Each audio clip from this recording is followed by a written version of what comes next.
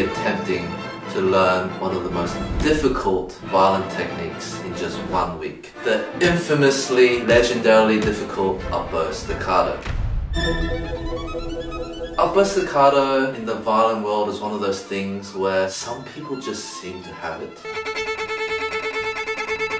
And other people, no matter how much they try, they can't do it. It's a very virtuosic technique. It's pretty much just a way of saying, I'm flexing. It's the violin equivalent of Jake Paul trying to have a Lamborghini. We don't have a Lamborghini, we just have upbow staccato. I figured, why not challenge myself and see if I can finally learn this cursed violin technique.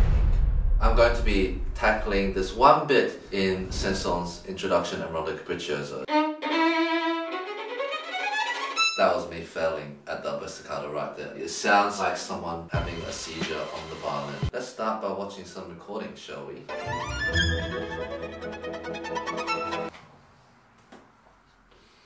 Okay. Day one, let's go.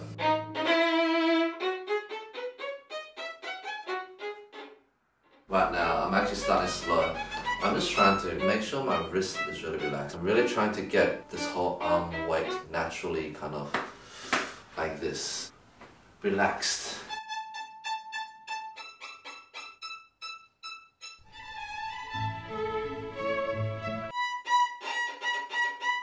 The key is each note has to ring really brightly. It can't sound crushed or like scrunchy, you know? It can't sound like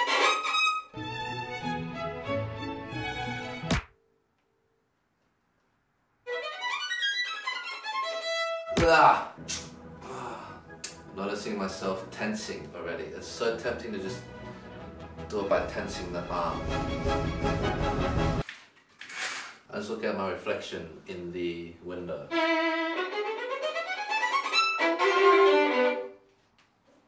Not bad. Oh, my arm is dead. And I still feel I'm compensating with tension, which is not good. Think that's about enough for today on staccato, but let's try tempo 80 to see how far off we are.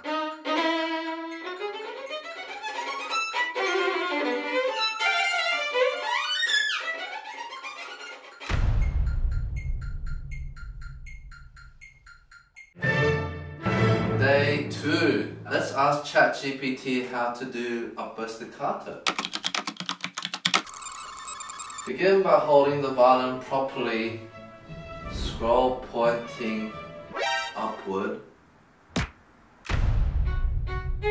When on tour with our Q&A sessions, a lot of people have asked how do you balance practicing with all the other things that we do? You really have to find ways to become more and more effective in your practice. It's cool to do challenges like this where I only have a really short amount of time to learn something because it really forces yourself to think about how to do it rather than just kind of mindlessly practicing.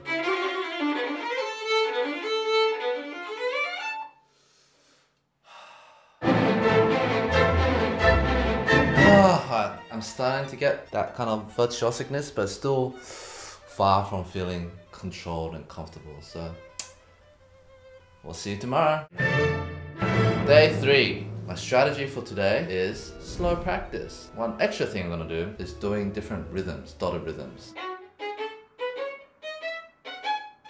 It's a really good way to solidify your rhythmic control because I was listening yesterday and my rhythm was a bit uneven. It's also good in the sense that it just breaks down a lot of notes into little chunks.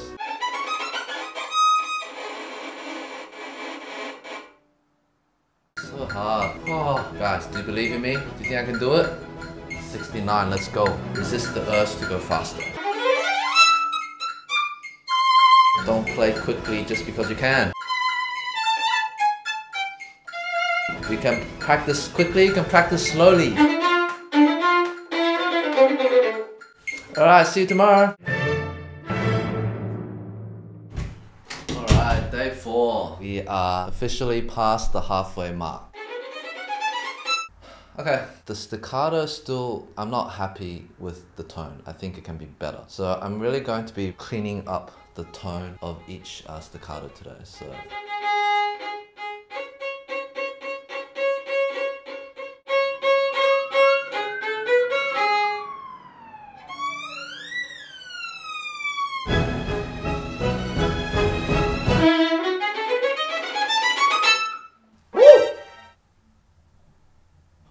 That was so good. What tempo was that? It was about 65. It's a bit slow, but it was really good.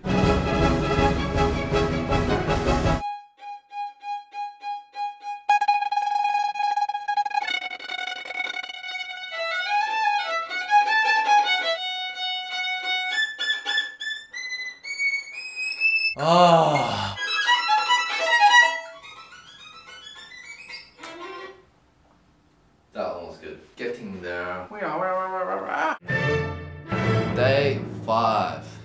Listened to it. The staccato stuff is not too bad. It's actually the other stuff that I didn't practice now, the arpeggios. So I'm gonna you know, just keep chipping away at it. I'm stressed.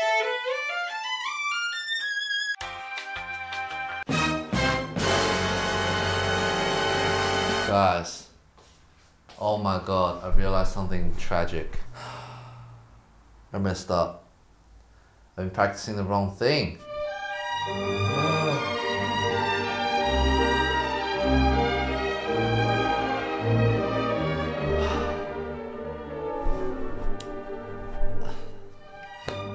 Quite lazy with using sheet music because I have a pretty good memory usually.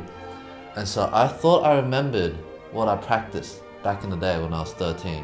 I just checked the music just then just to be sure and it's down an octave.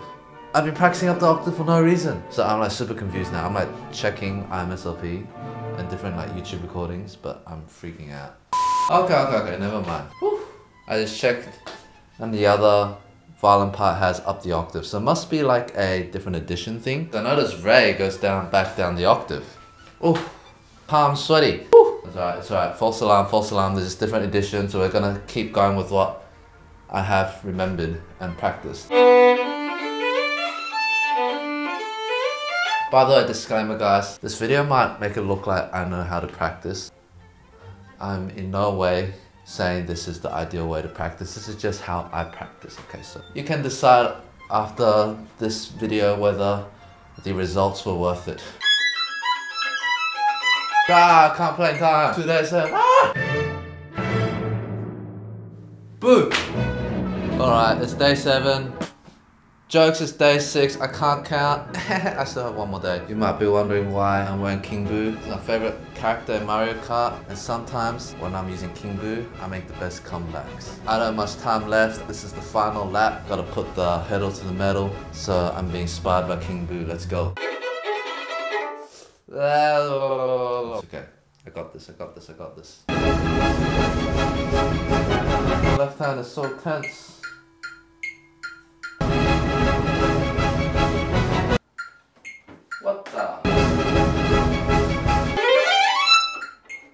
Bro, that was so lit, my butt cheeks was like clenching. I was like, oh my god, I gotta relax my butt. Damn. But uh, I need to get the arpeggios though. Why is it so hard? Maybe I should change the fingering. Nah, second position, not a good idea.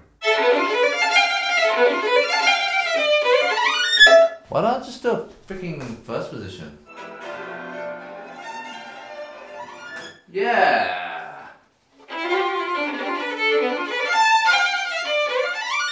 Last minute fingering change. If I can do this, I can play anything in the world. Come on, Ling Ling. Power Ling Ling. Spirit of Ling Ling.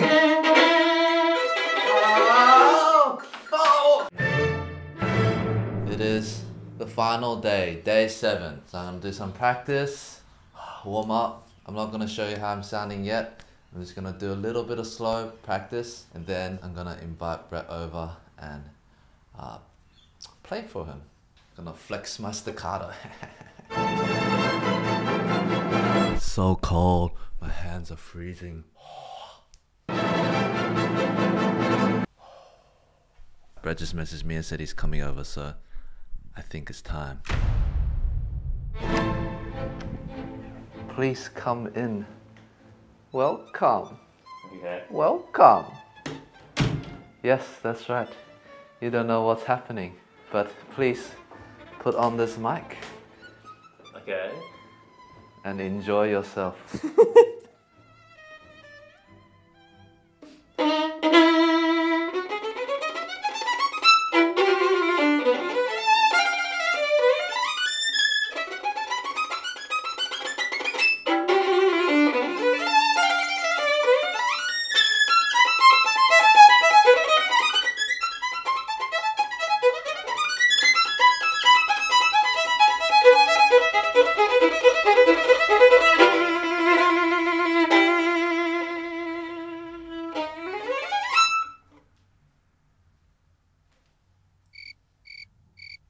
Staccato.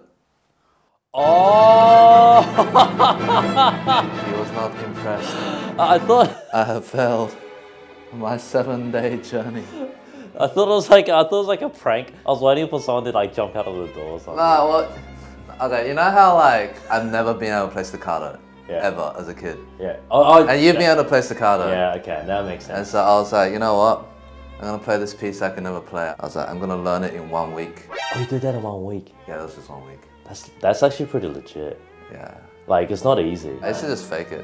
That That's true. I'd be like, Okay, it's not legit until you do it again. You gotta do it again. oh. Now, now I know what's going on. Uh, second chance.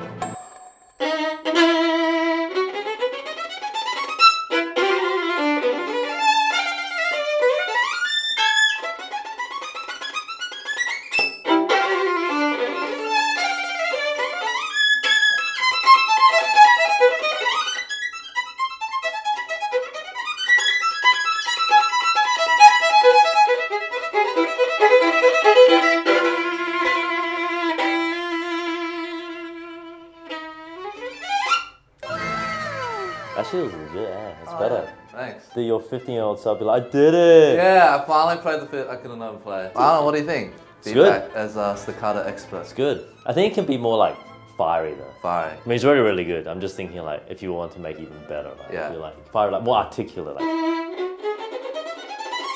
Yeah, it's like the upbow staccato becomes like flying upbow staccato. Oh, I can't. You know, da, da, da, and then it goes.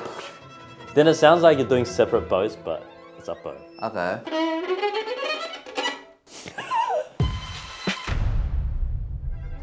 Deserve a bubble tea. Oh, oh yeah, that sounds Yes. pretty good. Alright, let's go. Let's go. Alright, guys, thanks for watching. Make sure to practice. World Tour's coming up soon. Sign up below. USA, keep an eye out. Bye bye. Bye-bye.